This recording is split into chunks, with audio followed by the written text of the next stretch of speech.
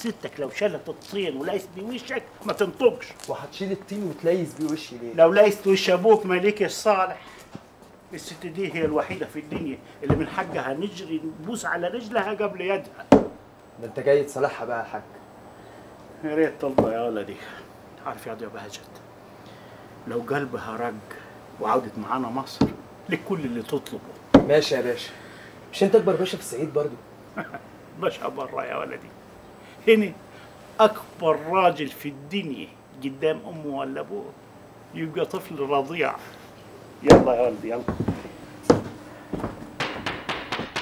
شوفوا مين على الباب يا أم شلبي. حاضر يا حاج.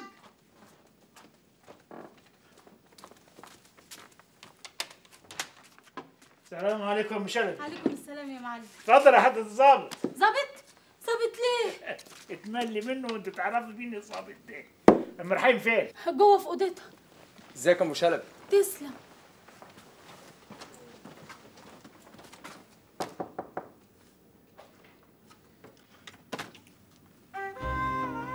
أدخل يا أم رحيم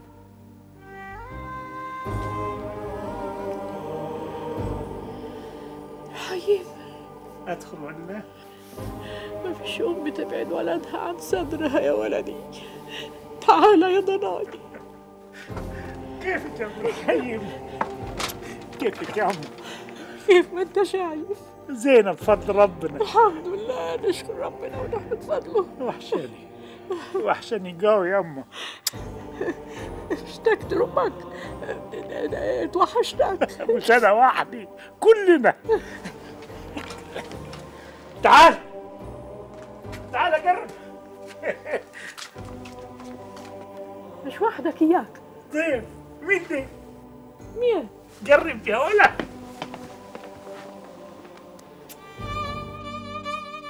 يا بيت. مين الظابط ده ولدك مش كده صح. إزيك يا ستي تسلم لستك يا ضنايم شاء الله ما شاء الله.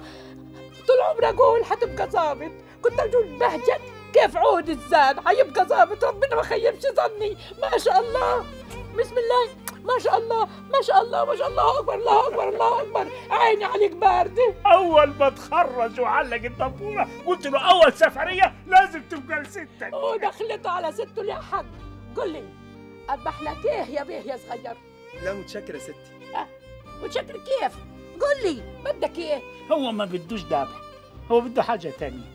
جاي وفي راسه حاجة تانية يا ام رحيم آه اللي في راسه خليه في راسه. اللي في راسه أنا هو اللي حيمشي قل لي أذبح لك إيه؟ قل لي نحن ناكل على حسك. أي حاجة يا ستي الحاضر. قل لي شيء حاضر. اسمع أذبح لك ديك رومي وشوية حمام محشي بالفريق. أول ما تجي عمتك من برا أخليها تذبح لك. عمته فين امها بتجباني بتزور أبوها وجوزها. قالت ما دام ما فيش حد من الرجاله بيزورهم أزورهم اني كل يوم خميس. أقرأ لهم الفاتحة وأسقي الصبار.